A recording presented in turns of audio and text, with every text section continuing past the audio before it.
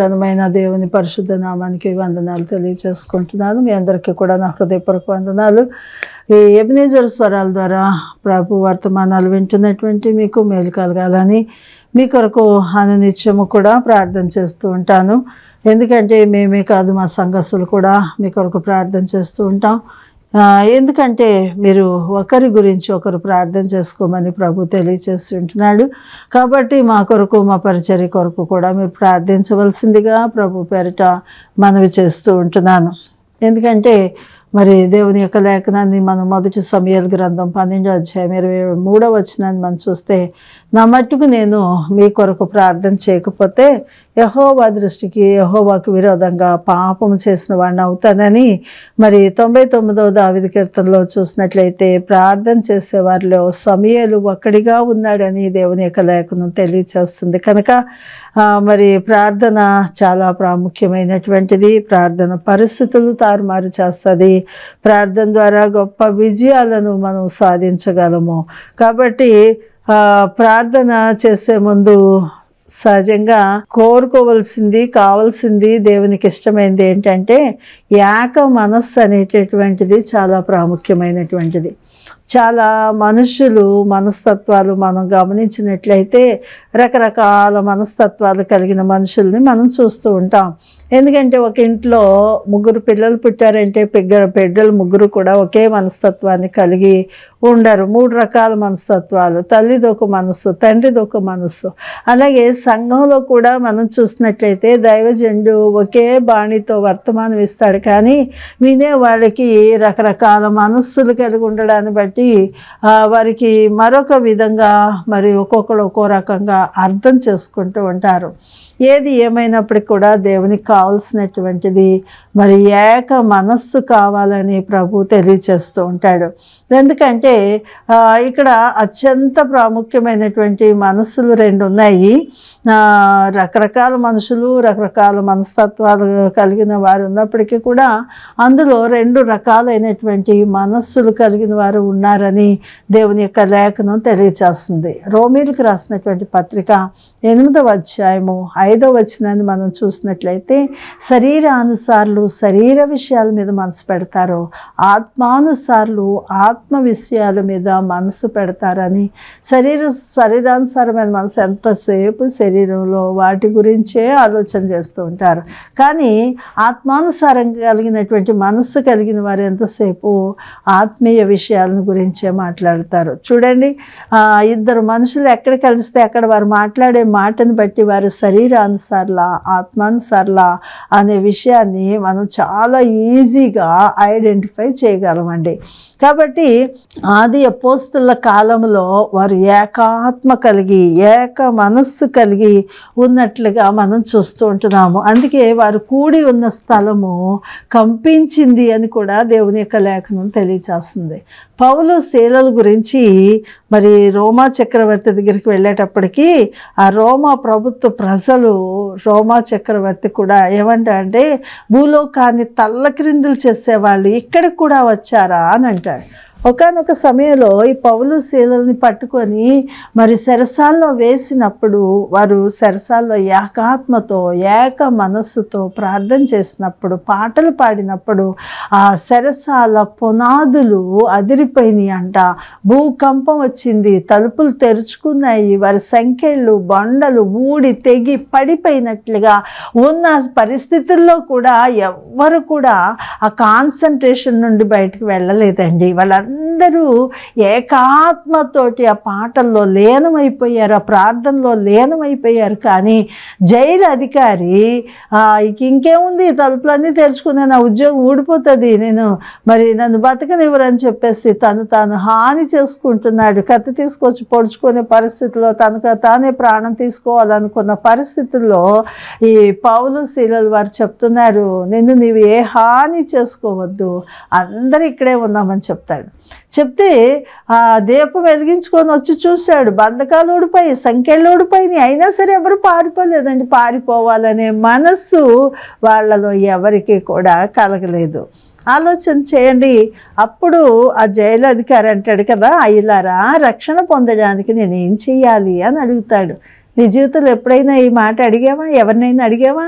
అడగకముందే దేవుడు నీకు తెలియచేస్తున్నాడు. నువ్వు మార్మస్ పొందు రక్షణ పొందు పరలోకంలో ఉంటావు. నా రాజ్యంలో నీకు స్థానం ఇస్తానని దేవుడు ఎంతగా ఎంతమంది సేవకుల్ని మరి వాడుకొని దేవుడు నీకు వర్తమానాలు ఇస్తున్నాడు. వాళ్ళకి ఏం పని పాటలేదు బతకడానికి ఇది ఒక మార్గం అనుకొని ఎన్నెన్నో ఎన్నో మాటలు దేవుని సేవకుల్ని అనేవాళ్ళు ఉన్నారు. కదండి? ఒకప్పుడు నేను కూడా అలాంటి దౌర్భాగ్యురాలని. దేవుడు మాట్లాడతాడంటే దేవుడు కనబడతాడంటే దేవుడు దర్శనమిస్తాడంటే కూడా నమ్మలేని దౌర్భాగ్యురాలని నేను కూడా అనేక మంది సేవకుల్ని చులకనగా మాట్లాడినటువంటి వారిలో ఒక్కదానిని. అయితే ఆ మార్గం ఏంటో అర్థం కావాలని మన జీవితంలో నేను టీచర్ ట్రైనింగ్ చేశాను నర్స్ ట్రైనింగ్ చేశాను డిగ్రీ చదువుకున్నాను. ఈ మార్గం ఏంటో నాకు అర్థం కావాలని మార్గంలో దేవుడు నన్ను పెట్టాడు. ఎందుకు నేను టీచర్ ట్రైనింగ్ చేస్తానంటే చిన్న పిల్లలకే దేవుని వాక్యాన్ని చెప్పినట్లయితే బాలుడు నడవలసిన త్రోవను మనకి నేర్పినట్లయితే పెద్దవాడైనా వృద్ధుడైనా దాని నుండి తొలగిపోవడని దేవుని వాక్యం ఉంది కాబట్టి చిన్న పిల్లలకే రోజుకు ఒక మాట రోజుకు ఒక ఆజ్ఞ అదే రోజుకు ఒక కట్టడ వాళ్ళకి చెప్పేస్తే వాళ్ళు చిన్నప్పుడే నేను తెలుసుకుంటారు అని ఉద్దేశంతో నేను టీచర్ ట్రైనింగ్ చేశాను. తర్వాత మరి నర్స్ ట్రైనింగ్ ఎందుకు చేశాను అని అంటే రేపో మాపో ప్రాణం పోయే వాళ్ళకి సువార్త అంది అందిస్తే తప్పనిసరిగా ఏసైకి హృదయంలో చోటిస్తారు. వారు చచ్చిపోతారా? దేవుని రాజ్యంలో ఉంటారు. బ్రతుకుతారా? దేవునికి సాక్షులుగా బతుకుతారనే ఉద్దేశంతో నేను ఇక నర్స్ ట్రైనింగ్ సెలెక్ట్ చేసుకున్నాను. ఏది ఏమైనప్పటికీ కూడా ప్రభు నాకు తెలియచేసిన విషయం ఏంటంటే ఎన్ని లక్షలు సంపాదించావు కాదు ఎన్ని ఆత్మలు సంపాదించావు అని అడుగుతాను నేనని చెప్పాడు ప్రభు నాతో. కాబట్టి ఆ మాటను బట్టి వాటన్నిటిని కూడా నేను విడిచిపెట్టాను. ఎందుకు నేను నర్స్ ట్రైనింగ్ చేశాను? ఎందుకు టీచర్ ట్రైనింగ్ చేశాను? ఎందుకు చదువుకున్నాను పంతంగా అంటే నేను ఉద్యోగం చేస్తూ ఆ డబ్బులతోటే మందిరాలు కట్టాలి ఆ డబ్బులతోటే సువార్త ప్రకటించాలా? ఆ డబ్బులతోటే మరి మీటింగులు పెట్టాలా? ఎందుకంటే మందిరం కడుతున్నాం ప్రార్థన చేయండి అంటే ఆ, పది రూపాయలు ఇచ్చేవాళ్ళు ఉండరు కానీ పది మాటలు అనేవాళ్ళని చూస్తూ ఉంటాం. కదండి?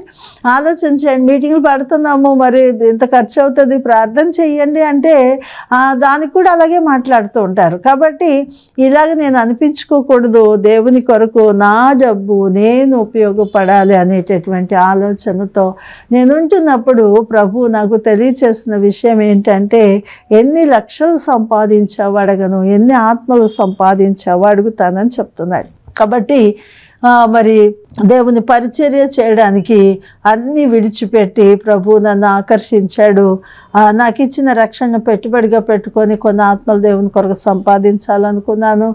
నాకు అనుగుణంగా నాకు మరి సహకరించే భర్తను దేవుడు ఇచ్చాడు. ఇద్దరం కలిసి దేవుని పరిచర్యలో విరివిగా వాడబడుతూ ఉండడానికి దేవుడు ఎంతో కృప చూపించి ఉంటున్నారు.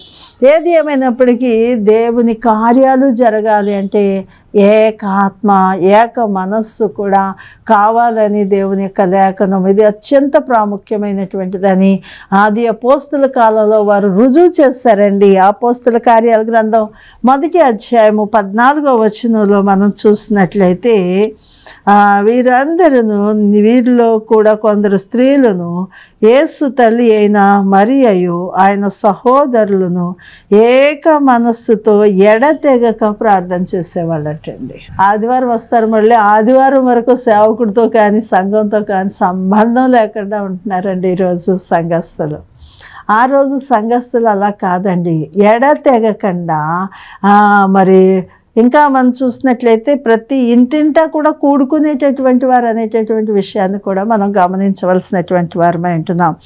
మరి పదిహేను వచనాన్ని మనం గమనించినట్లయితే ఆ కాలమందు ఇంచుమించు నూట ఇరువది మంది సహోదరులు కూడి ఉండగా పేతురు వారి మధ్య నిలిచి ఇట్లా నేను అనేటటువంటి విషయాన్ని చూసినట్లయితే అంతకుముందు యేసు ప్రభుని చంపేస్తే ఈ క్రిస్టియానిటీ అంతమైపోతుందని అనుకున్నారు కానీ మరి యేసు ప్రభుని చంపడం వల్ల ఈ క్రిస్టియానిటీ అంతం కాలేదు. పన్నెండు మంది ఉన్నారు. ఈ పన్నెండు మంది ద్వారా మరి ఎంతగానో విస్తారమైనటువంటి పరిచర్య జరిగినట్లుగా మరి వీరు పన్నెండు మంది కూడా ఏకాత్మతో ఉన్నప్పుడు మరి అక్కడ నూట ఇరవై మందిని సమకూర్చినట్లుగా దేవుడు తెలియచేస్తుంటున్నాడు ఇంకా సేవ విస్తరించిందండి. ఒక్కొక్కళ్ళు ఫలించడం మొదలుపెట్టారు. మరి పేతురు గారు నిలబడి దేవుని యొక్క వాక్యాన్ని ప్రకటిస్తూ ఉంటుండగా మరి మూడు వేల మంది ఒక ప్రసంగానికి యేసు ప్రభు వైపు త్రెప్పబడ్డారండి వారి మనస్సులు. రెండవ అధ్యాయం అపోస్తుల కార్యాల గ్రంథం నలభై ఒకటి నలభై రెండు వచనాలు చూసినట్లయితే వారు మరి ఎలాంటి సహవాసాన్ని కలిగి ఉన్నారు? అపోస్తుల బోధ ఎందును సహవాసం అందును రొట్టె విరుచుట ఎందును ప్రార్థన చేయుట ఎందును ఎడతెగకుండా ఉన్నారు. ఎడతెగనటువంటి అనుభవం ఆనాటి అపోస్తులు పొందుకున్నారండి. కాబట్టే వారి ఏకాత్మ ఏక మనసు కలిగి ఉండడాన్ని బట్టి వారికి ఉన్న ఆస్తులన్నీ అమ్మేసి అపోస్తులు పాదాల దగ్గర కూడా పెట్టారటండి. ఆలోచన చేయండి. ఉన్న దానిలో కొంత ఇవ్వడానికే మనసు రాదు మనుషులకి. ఆ రోజుల్లో మరి ఎలాంటి ఏకాత్మ చూడండి వారికి ఉన్న ఆస్తులు ఇల్లు పొలాలు వాళ్ళకి ఏమైతే ఉందో వాటి అన్నిటిని అమ్మేసి ఆ పోస్తుల పాదముల దగ్గర పెట్టినట్లుగా అక్కడి నుంచి అందరూ స్టార్ట్ అయ్యేవాళ్ళు. అక్కడి నుంచే మరి మరి దేవుని మందిరంలోనే వారిని వాసాన్ని ఏర్పరచుకున్నారేమో. మరి అక్కడి నుంచే ఇంటింటా కూడా మరి దేవుని యొక్క సువార్త ప్రకటిస్తూ రొట్టె విరుస్తూ మరి మరి ఆ- ఆనందంతో ప్రభువుని వెంబడించేటటువంటి వారని ఆ దినాల్లోనే ఒక భార్య భర్తలు కూడా మనకు బాగా తెలుసు. అననీయ సపేరాలు అనేవాళ్ళు వాళ్ళు వాళ్ళు కూడా పొలాన్ని అమ్మేశారు కానీ అందరు ఇచ్చినట్లుగా ఇవ్వలేదు. కానీ వారు కొంత దాచుకున్నారంట. దాచుకొని కొంత మాత్రం ఆ పోస్తుల పాదాల దగ్గర పెట్టినప్పుడు దైవజండు అంటున్నాడు ఏమ్మా ఇంతకే అమ్మారా? అని అడుగుతున్నప్పుడు అవునయ్యా ఇంతకే అని అననయ్య చెప్పాడు. ఆ ఆలోచన చేయండి. దేవుని ఆత్మను మోసం చేయడానికి మీకు ఎంత ధైర్యం అని చెప్పేసి అననీయతో మాట్లాడుతూ ఉంటుండగానే అననీయ చచ్చిపోయినట్లుగా పడి చచ్చిపోయాడంట. ఆ మాట బయటికి వెళ్ళలేదు. కనీసం భార్య కూడా చెప్పలేదండి. తీసుకెళ్ళి యవనస్తులు లేచి పాత పెట్టేయండి అంటే అంటే మాట అంటే ఎంత మరి భయభక్తులతో చేసేవాళ్ళు ఆ సంఘము ఆనాటి సంఘం. ఈరోజు దేవుని సేవకుడు అంటే అసలు లెక్కే లేదు కదండి. ఆలోచన చేయండి దేవుని సేవకులు ఎన్నో శోధనలు సమస్యలు కష్టాలు కన్నీళ్ళలో తినటానికి ఉన్నా లేకపోయినా కుటుంబంలో ఎన్ని భయంకరమైన పరిస్థితులు ఉన్నా మరి చాలా హుందాగా సంతోషంగా జనాల మధ్యలో వారు కనబడతారు. ఏంటో వారి ధైర్యం తెలుసా అండి? మా కొరకు ప్రాణం పెట్టిన దేవాది దేవుడు చనిపోయి తిరిగి లేచాడు. పరలోకానికి అధినేత ఆయనే. ఒకానొక రోజు మేము కూడా రాజ్యానికి వెళ్ళాలి వెళ్తాము అనేటటువంటి నిరీక్షణతోటి మరి దేవుని గురించి ప్రకటిస్తూ ఉంటారు. మనుషులకు ఉన్న అందరికీ రకరకాల సమస్యలు ఒక్కోటి ఉండొచ్చేమో కానీ అన్ని రకాల సమస్యలు దేవుని సేవకులకు ఉంటాయి. అలాంటి పరిస్థితుల్లో కూడా దేవుని ఎంత మాత్రం కూడా విడిచిపెట్టకుండా దేవుని గురించి ప్రకటిస్తూనే ఉంటారు దేవుని యొక్క సేవకులు. ఇంకా మనం చూసినట్లయితే మరి నాలుగో అధ్యాయము నాలుగు ఐదు వచనాలు అపోస్తుల కార్యాల గ్రంథంలో మరి ఒక ప్రసంగానికి పేతురు గారు ప్రసంగం చేస్తే మూడు వేల మంది రక్షించబడితే ఇక్కడ ఐదు వేల మంది రోజు రోజుకి సంఘం విస్తరిస్తూ ఉందండి. దేని దేన్ని బట్టి అంటే కేవలము ఏకాత్మ ఏక మనసు కలిగి ఎడతెగకుండా వారు చేసే ప్రార్థన బట్టి సంఘం కూడా విస్తారంగా అభివృద్ధి పొందింది. అవిధేయులు లెక్కలేనటువంటి వారు. మరి అని పాతి పెట్టేస్తే ఒక్కళ్ళు కూడా కిక్కురుమనలేదండి కానీ వారి భార్య ఎప్పటికొచ్చింది తెలుసు? ఇంచుమించు మూడు గంటల వేళప్పుడు అంటే ప్రార్థన అయిపోయేటప్పుడు వచ్చిందండి. అందరూ పన్నెండు గంటలకు వస్తే పన్నెండు గంటల నుంచి మూడు గంటలు అంటే ఆ మూడు గంటల లోపల వెళ్తే చాలే అని వస్తూ ఉంటారు. ఎంత నిర్లక్ష్యంగా ఎంత అవిధేయంగా ఎంత లెక్కలేనితనంగా దేవుని సందికి వెళ్తారు. ఒక ఊరు వెళ్తే అందరికంటే ముందే వెళ్తారు కదండి. ఒక పెళ్ళికి వెళ్ళాలంటే ఒక కథల కార్యక్రమాలకి వెళ్ళాలంటే ఒక బస్కి వెళ్ళాలంటే ఆ, ఎంత ముందు బయలుదేరి వెళ్తారు కదా. ఆ బస్ దాటిపోతుందేమో ట్రైన్ దాటిపోతుందేమో. అందరూ మరి లాస్ట్లో అవుతుందేమో అని ఎంత చురుకుగా ఉంటారో. ఏ విషయాల్లో చురుగ్గా ఉండాలో ఏ విషయాల్లో మరి చురుగ్గా ఉండకూడదో తెలియనటువంటి వారు. దీన్ని బట్టి లోకానుసార్లు లోక విషయాల్లో మనసు శరీరానుసార్లు శరీర విషయాల్లో మనసు పెడతారని ఆత్మానుసార్లు ఆత్మ విషయంలో మనసు పెడతారని దేవుని యొక్క లేఖనం తెలియచేస్తుంది కదండి. కాబట్టి ఇక్కడ దేవుని యొక్క లేఖనాన్ని మనం జ్ఞాపకం చేసుకున్నట్లయితే ఈ అపోస్తుల కార్యాల గ్రంథాలోనే మరి ఎనిమిదో అధ్యాయము ఇరవై ఒకటో వచనం మనం గమనించినట్లయితే అక్కడ ఒక గారిడి సిమోన్ ఉన్నాడండి. ఆ గారిడి సిమోను మరి యేసుప్రభు శిష్యుడైనటువంటి పిలుపు ఆ అద్భుతాలు చేస్తుంటే సూచక్రియలు చేస్తుంటే చూసి విభ్రాంతి నొంది మరి నమ్మి బాప్తీసం కూడా తీసుకున్నాడండి. పిలుపుని ఎడబాయకుండా తిరుగుతున్నాడు సేవలో తిరుగుతున్నాడు అద్భుతాలు చూస్తున్నాడు కానీ తన అంతరంగంలో మార్పు జరగలేదండి. ఈ అననీయ సపేరా లాంటి మనసు. ఆలోచన చేయండి. భర్త చనిపోయాడని తెలియకుండా వచ్చింది. వచ్చేటప్పటికి ఆమెను కూడా అడుగుతున్నాడు పేతురు గారు. ఏమ్మా ఇంతకే అమ్మారా అండి పలానా? అవునే ఎంతకే అని. ఎందుకు? పరిశుద్ధాత్మను మోసం చేయడానికి పరిశు మరి అపవాది మిమ్మల్ని వాడుకున్నాడు అని చెప్పేసి అంటున్నా. ఇదిగో నీ భర్తను మోసుకొని పోయింది వారి పాదాలు. నీ బయటే ఉన్నాయి వారు నిన్ను కూడా మోసుకెళ్ళిపోతారంటే. నిజంగా అక్కడికక్కడ ఆమె పడి చచ్చిపోతే సంఘం అంతా అడులెత్తుకుపోయారండి. భయము. దేవుని సేవకుడంటే దేవుడంటే ఏంటో ఆనాటి సంఘస్థులు గ్రహించగలిగారు కానీ ఈనాటి సంఘము ఎలాగుంది? ప్రభు వస్తే ఎత్తబడడానికి సిద్ధంగా ఉందా? నీ క్రియలను బట్టి నువ్వు ఆగిపోతావా? నరకానికి వెళ్ళిపోతావా? దేవుని రాజ్యానికి వెళ్తావా? ఎవరికి వారే ఆత్మ పరిశీలన చేసుకోవలసినటువంటి వారమై ఉంటున్నామని ప్రభు పేరట మనం చేస్తూ ఉంటున్నాం. అక్కడ పేతుడు చెప్తున్నాడు ఆ, నీ హృదయము దేవుని ఎదుట సరిగా లేదు కనుక నువ్వు ఆ యొక్క పరలోకపు పాలు పంపులు నీకు లేవని చెప్పేసి ఖచ్చితంగా చెప్పినప్పుడు మరి నువ్వు ఘోర దుష్టత్వంలో ఉన్నావు అని దుర్నీతి బంధకాల్లో ఉన్నావు అని చెప్పేసి మరి నీ కొరకు నువ్వు ప్రార్థన చేసుకోమంటే అదేదో మీరే చేయండి అని. చాలామంది గుడికి వెళ్తారు సంవత్సరాల తరబడి వెళ్తారు కానీ నోరు విప్పి ప్రార్థన చేయలేని వాళ్ళు సంఘంలో చాలా మంది ఉన్నారు. తెలుసా అండి? ప్రార్థన చేయమంటే మీరే చేయండి గారు అంటారు. మీరే చేయండి అమ్మగారు అంటూ ఉంటారు. ఏం నేర్చుకుంటున్నారు? ఎంతకాలం వచ్చి? ఓ పాట కూడా రాని క్రైస్తవులు చాలామంది సంఘాల్లో ఉన్నారు తెలుసా అండి. ఒక్క పాట కూడా పాడలేరండి. మా దగ్గర అక్షరం ముక్క లేని వాళ్ళు ఉన్నారండి. వాళ్ళు పాడతారండి చదువుకున్న వాళ్ళకి సిగ్గేయాలా నిజంగాని పుస్తకాలు లేకుండానే కంటో పాఠంగా పాడేస్తూ ఉంటారు. మరి ఎంతగా దేవుని స్థుతిస్తారు? ఆ పాట మీద ఎంత ఇంట్రెస్ట్ పెడితే పాట వస్తుందో చెప్పండి. పాటలు పాడుతుంటే మట్టి ముద్దలాగా నోరు తెరవనండి. ఒక పా ఒక చరణాన్ని ఒక పల్లవిని లేకపోతే ఒక లైను ఒకటికి రెండు సార్లు పాడతారు కదండి. ఒకసారి పాడినప్పుడు చాలా జాగ్రత్తగా వింటే రెండోసారి కలిపితే అలాగే ఎన్ని పాటలు వస్తాయో తెలుసా? ఏదో మతి లేని వాళ్ళు కూర్చున్నట్టు కూర్చుంటారు దేవుని మందిరంలో. ఏమండి ఎప్పుడైపోతుందా వెళ్ళిపోదాం అన్నట్టు కూర్చుంటారు. కూర్చుంటారు కానీ నిద్రపోతూ ఉంటారు. వస్తారు కానీ మధ్యలో లేచి వెళ్ళిపోతూ ఉంటారు.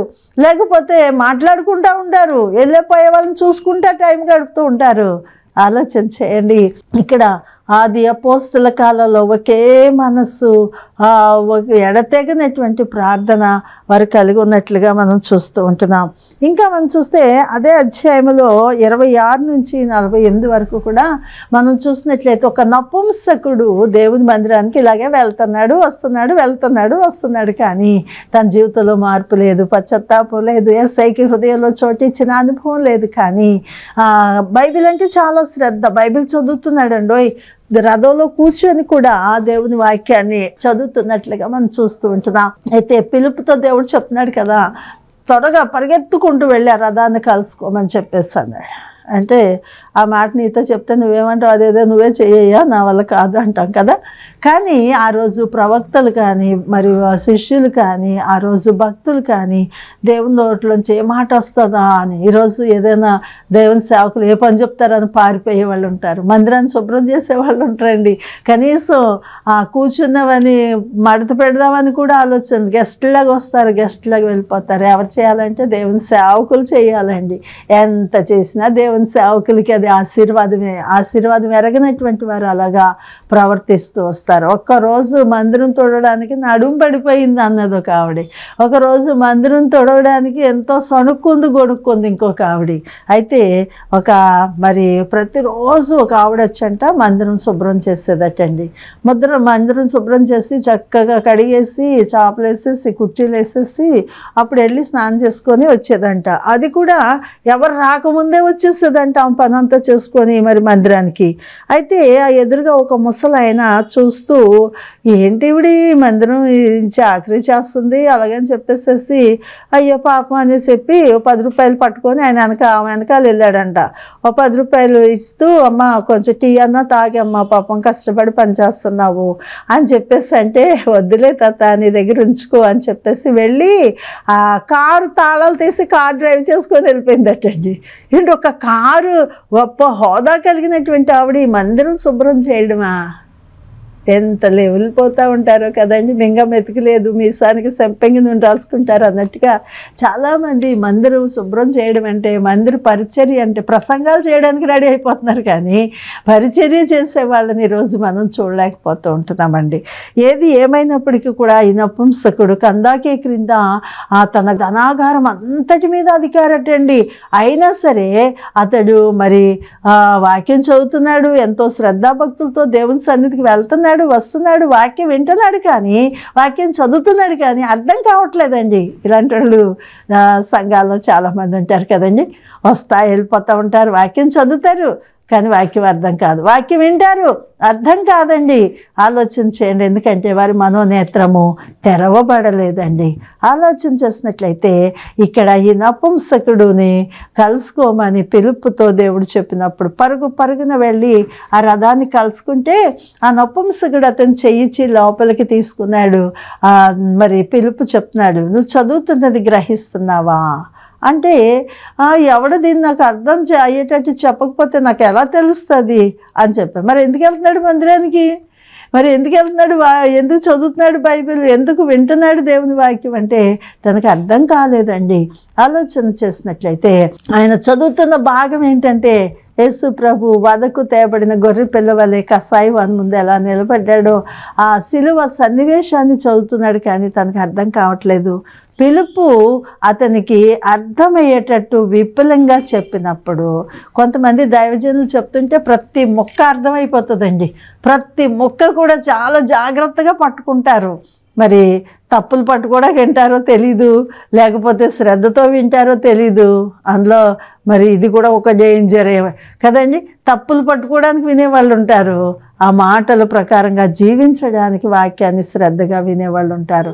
కానీ ద్వితీయోపదేశ కాండము ఇరవై ఎనిమిది అధ్యాయం మొదటి వచ్చిన చూసినట్లయితే ఎవరైతే ఆయన వాక్యాన్ని శ్రద్ధగా వింటారో వారిని సమస్త జనముల కంటే కూడా అభివృద్ధిలోకి ఆశీర్వాదం ఇస్తానని చెప్పి దీవిస్తానని చెప్తాడు కదా. ఎవరైతే దేవుని వాక్యాన్ని అశ్రద్ధగా వింటారో వారు శాపగ్రస్తులని కూడా దేవుని యొక్క వాక్యం తెలియజేస్తుంది. దేవుని సన్నిధికి వచ్చి వాక్యం వినకుండా పాటలు పాడేటప్పుడు పాటలు పాడాలా వాక్యం చెప్పేటప్పుడు వినాలా. చాలామంది ఏం చెప్తారు తెలుసండి? అక్కడ దయచేసి వాక్యం చెప్తుంటే ఇక్కడ వాక్యం చదువుకుంటూ ఉంటారు. అది పోతుంది ఇది పోతుంది. ఏమింటారు వింటారు? ఏం చదువుతున్నారు? ఏమని వంట పడుతుందండి? ఆలోచన చేయండి. అశ్రద్ధగా శాపము వెంటాడుతుందండి. ఇంకా ఫోన్లు చూసుకుంటూ ఉంటారు. ఏం చూస్తారా ఫోన్లోని? ఏం చూస్తున్నారో దేవుడికి తెలియాలి వాళ్ళకి తెలియాలి. కదండి? ఎవరిని మోసం చేస్తున్నారు? దేవుణ్ణి దేవుని సేవకుని మోసం చేస్తే వారి జీవితంలో ఏం మిగులుతుంది? చివరికి మోసం ఏం మిగులుతుందండి? మోసపోకుడి దేవుడు వెక్కిరించబడడు. మనుషుడు ఏ విత్తనాన్ని విత్తుతాడో ఆ పంటని కొయ్యవలసి వస్తుందని కూడా దేవుని వాక్యం తెలియచేస్తూ ఉంటుంది. కాబట్టి ఆ వాక్యాన్ని అర్థమయ్యేటట్టు ఆ పిలుపు చెప్పినప్పుడు అక్కడికక్కడే దారి మధ్యలోనే తన పశ్చాత్తాపడ్డాడు. తన పాపాలు ఒప్పుకున్నాడు. పిలుపు కూడా విన్నాడు చూశాడు పరిస్థితి. అయితే దారిని వెళ్తున్నప్పుడు ఇగో నీళ్ళు నాకు బాప్తీసం ఇవ్వడానికి ఆటంకం ఏంటి? ఏమంటే ఎంతోమందిని బాప్తిస్తానికి నడిపించాలంటే అబ్బో ఎన్ని సాకులు చెప్తారో తెలుసా అండి? ఏసై దగ్గరికి రావడానికి కొన్ని సంవత్సరాలు పట్టేస్తుంది. ఏసై దగ్గరికి వచ్చిన తర్వాత మరి వాక్యం విని మారు మనసు పొంది కూడా మరి బాప్తిసం పొందడానికి కొన్ని సంవత్సరాలు వాయిదాలు వేసేస్తారు. నా జీవితంలో నేను అలాంటి వాయిదా వేయలేదు కదండి. పద్నాలుగు సంవత్సరాల వయసులో మరి జేడి మ్యాచెస్ గారు దైవర్తమానం కాకినాడ స్కూల్లో ఒక మీటింగ్ పెట్టారు. ఆ మీటింగ్లో దేవుని వాక్యం నన్ను దర్శించింది. ఇంత గొప్ప రక్షణ నిర్లక్ష్యం చేస్తే ఎలా తప్పించుకుంటామని ఆ వాక్యం వింటున్నప్పుడే మరి పరలోకాన్ని గురించి నరకాన్ని గురించి తెలియచేసినప్పుడు మరి పరలోకం కావాలా నరకం కావాలని దైవజనులు అడుగుతున్నప్పుడు నాకు పరలోకమే కావాలంటున్నాను. అయితే పరలోకం కావాలంటే ఏదో నేను అన్న మాట ఆయనకి ఎదబడినట్టు నేను మనసులో అనుకున్న మాట ఆయన చెప్తున్నారు నీకు పరలోకం కావాలి అంటే నువ్వు చేసిన పాపాలు ఒప్పుకో అంటున్నారు. ఇదేంటి? నేనేం పాపం చేశాను? అని చెప్పేసి అనుకున్న పరిస్థితుల్లో మీరే పాపం చేస్తారో తెలియకపోతే మీరు దేవుణ్ణి అడగండి అన్నాడు. అలాగే దేవుణ్ణి అడుగుతున్నాను ప్రభు నేనేం పాపం చేస్తాను తెలియచేయమంటే నేను చిన్నపిల్ల మొదలుకొని ఆ రోజు వరకు పద్నాలుగు సంవత్సరాల వరకు నేను చేసిన ప్రతి ఒక్కటి దేవుడు నాకు గుర్తు చేశాడు. పశ్చాత్తాపడ్డాను ఒప్పుకున్నాను దేవుని దగ్గర. క్షమాపణ దేవుడు ఇచ్చాడు నాకు. చెప్పసక్యంగాని సంతోషం మహిమాయుక్తమైన ఆనందం దేవుడు నాకు ఇచ్చాడు. కాబట్టి ఆ యొక్క రక్షణ పొందిన మారుమనసు పొంది పాపాలు ఒప్పుకున్నాము. మరుసటి దినాన్ని మరి ఎవరు రక్షణ పొంది పొందారు ఎవరు పాపాలు క్షమించబడి ఎవరికి బాప్తీసం అవసరం అన్నప్పుడు నేను వెంటనే లేచి నిలబడి మరి పద్నాలుగు సంవత్సరాల వయసులో ప్రభుని నా సొంత రక్షకుడిగా అంగీకరించాను. ప్రభు కొరకు గొప్ప తీర్మానం చేసుకున్నాను. ఆ తీర్మానం మేరకు నేను నడిపించబడాలని దేవుని సన్నిధిలో నిత్యము కూడా జాగ్రత్త పడుతూ ఉంటాను. ఎందుకంటే ఈ లోకం శాశ్వతమైనటువంటిది కాదు. ఏదో ఒక రోజు ఈ లోకాన్ని మనందరం విడిచిపెట్టవలసి వస్తుంది. ఎక్కడికి వెళ్తావు ఒకవేళ ఈరోజు ప్రభు వస్తే లేకపోతే ఈరోజు ప్రాణం పోతే ఎక్కడికి వెళ్ళాలి? రెండే రెండు స్థలాలు ఉన్నాయి పరలోకము నరకము. దీనికి వాయిదా వేయడానికి దీనికి సమయం లేదండి. ప్రతిదానికి సమయం ఉంది కదా అని చెప్పి ఆ ఒక్క మాటను ఉపయోగించి సంవత్సరాలు సంవత్సరాలు గడిపేస్తూ ఉంటారండి. కాదండి ఆ సమయము లేదని చెప్తున్నాడు ఆయన. ఇదే సమయము ఇదే అనుకూలమైన సమయము ఇదే రక్షణ దినం అని చెప్తున్నాడు.